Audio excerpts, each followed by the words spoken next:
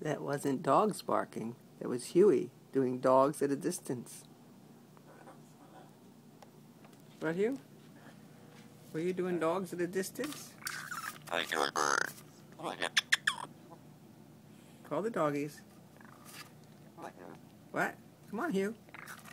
Huey. Uh-oh. No, Huckle died about 20 years ago.